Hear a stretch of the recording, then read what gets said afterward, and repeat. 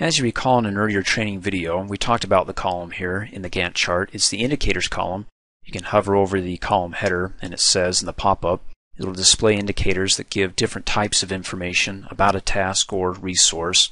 And when you hover over one of these little icons, it pops up and it says, okay, this is a check to say that the task has been completed, then the date, and then this is a message. You can read the message, and then you've got indicators for constraints, also for those resources assigned to a task that are over allocated. I mean, when you overwork somebody, they get angry, so they turn red, so you get a red dude here. In any case, in this training video, you can also pull in what's called a status indicator, well, as a column here.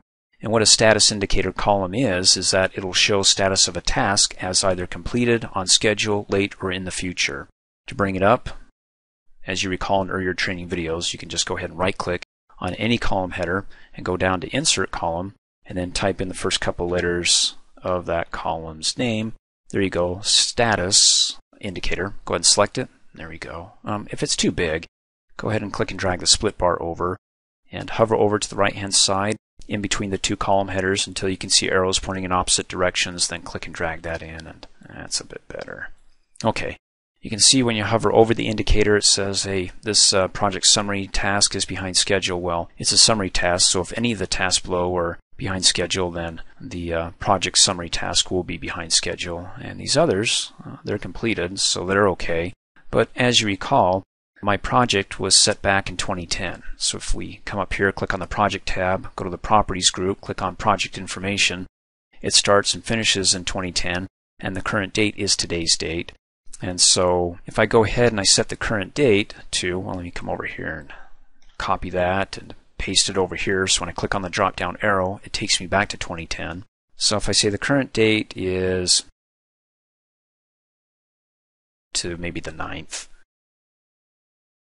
well, then you can see here that the tasks that were behind schedule according to the current date are not behind because the current date, you can see that line right there is the current date drawn. That's a, looks like uh, these other lines here that separate the weekends here.